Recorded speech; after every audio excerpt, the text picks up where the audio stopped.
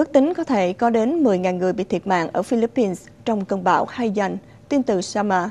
Các cư dân trong tỉnh Sama ở Philippines đang vật lộn để tìm thức ăn và sự giúp đỡ, trong khi các nhân viên cứu hộ di dời các thi hài bị mắc vào ngày hôm nay sau khi bão Haiyan tấn công đã làm ít nhất 10.000 người bị thiệt mạng.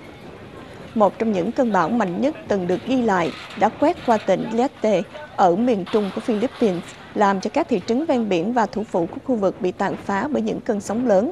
Siêu bão Haiyan đã phá hủy khoảng từ 70 đến 80% khu vực khi nó đi qua địa bàn tỉnh vào thứ Sáu vừa qua.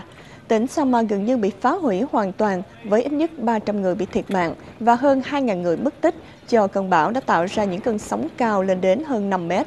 Lực lượng cứu hộ đang đi thu lượm những thi hài bị mắc kẹt trong các đống đổ nát của đường dây điện bị rơi, nhà cửa bị phá hủy và cây bị bật gốc. Các quan chức cho biết là điện và thông tin liên lạc vẫn còn bị cắt và những tuyến đường chính vẫn chưa được thông, gây khó khăn cho việc phân phối hàng cứu trợ. Một người bán hàng nói tất cả mọi thứ đã bị phá hủy, đã biến mất. Điều duy nhất còn lại là quần áo trên người của họ và đứa con.